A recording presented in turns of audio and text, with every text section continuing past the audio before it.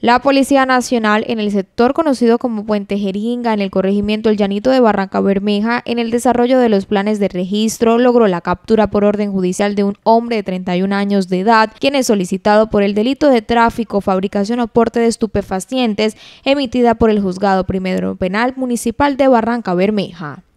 En los diferentes planes que ha venido desarrollando la Policía Nacional en contra del microtráfico,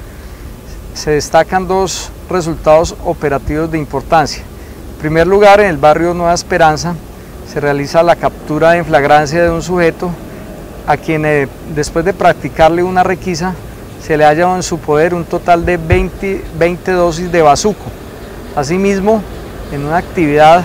de búsqueda de antecedentes en el sector del Llanito, se logra la captura de un sujeto que es solicitado por el delito de porte y tráfico de sustancias estupefacientes. Continuamos eh, comprometidos con los diferentes planes preventivos en el puerto petrolero.